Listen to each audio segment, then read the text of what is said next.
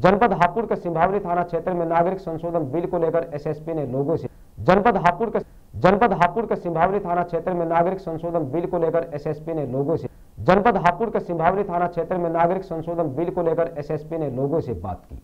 वहीं एसएसपी ने विचार मंथन किया और क्षेत्र में नागरिकता बिल कानून को लेकर जानकारी दी और कहा कि कोई भी इसमें अपने आप को असुरक्षित न समझे। ये बिल नागरिकता हटाता नहीं दिलाता है। वहीं एसएसपी ने जय हिंद के नारे लगाकर मीटिंग का उत्सव बढ़ाया। इसी मौके पर क्षेत्र के गणमान्य व्यक्तियों के साथ पुलिस क्षेत्र अधिकारी डॉक्टर तेजवीर सिंह, उप जिला अधिकारी हर्षवर्धन तोमर, थाना प्रभारी सुनील कुमार सिंह आदि अधिकारीगण मौजूद रहे।